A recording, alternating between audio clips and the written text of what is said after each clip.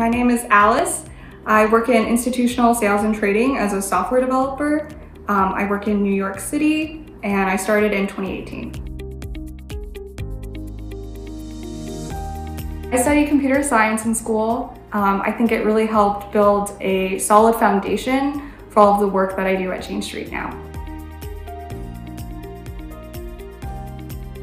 You don't need to know anything about finance before working at Jane Street. I definitely didn't know anything and I've learned everything that I need to know on the job from my coworkers.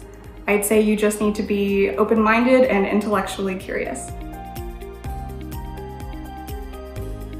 The way that intern projects are picked is that the intern mentors will go through their real dev stacks and choose something that's approximately six to eight weeks long. So this means that intern projects are real projects with real impact when I was an intern, I got to see my project rolled out before the end of my internship. And I had traders come up to me afterwards and say that they really liked the work that I did.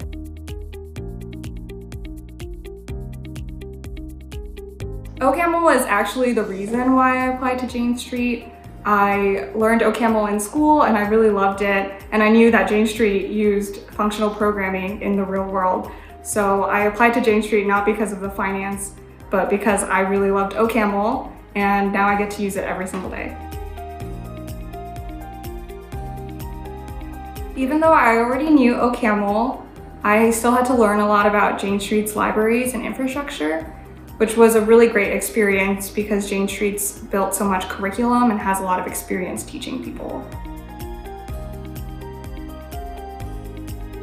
The things that I really enjoy about Jane Street's culture are that everyone's really humble, everyone's really willing to learn and to teach.